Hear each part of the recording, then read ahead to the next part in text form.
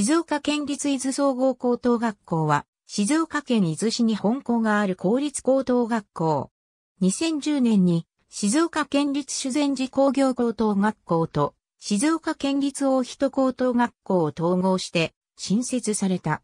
設置学科は、全日制の総合学科及び工業科である。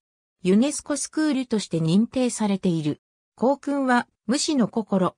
校歌の作曲は、小室仁志、作詞は、及川公平である。校舎は、従来の修善寺工業高校の敷地を利用、既存の同校校舎と体育館等は解体し、新校舎、実習棟、体育館等の建設、改修を終わらせた。施設概要は以下の通り。学科は大きく二つに分かれる。ABC、校訓が決まりました。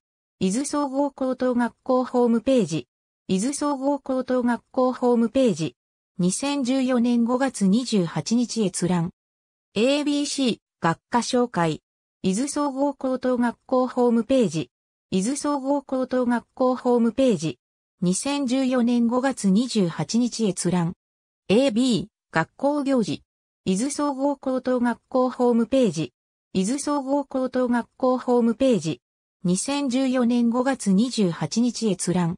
大人高校と修善寺工業高校の2008年度入学生は、伊豆総合高校の3年生とされた。加盟校情報。ユネスコスクール公式ウェブサイト。ユネスコアジア文化センター。2014年5月28日閲覧。